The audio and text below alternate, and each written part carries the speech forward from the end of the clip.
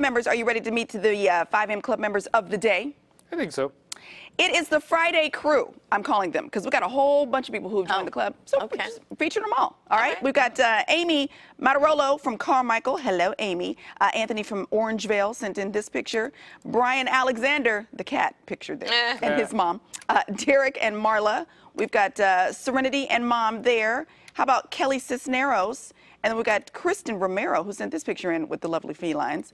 Uh, Michael Balliet out of Lodi, and then Sequoia and her daughter.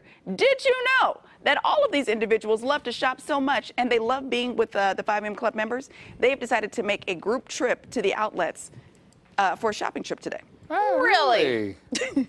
No, first of all, Oh. they don't know each other. I checked our director. He fell for it. Good morning all of you. Uh, we're always looking for newbies to join us in the 5 a.m. club. Well, we had a lot of them today. So if you uh, want to get in, you can do just like they did. They emailed their pictures uh, via 5 a.m. club at kmaxtv.com or post them on the 5 a.m. club Facebook page, and bam, you're in. You're in. Happy Friday. Hug a friend. I said.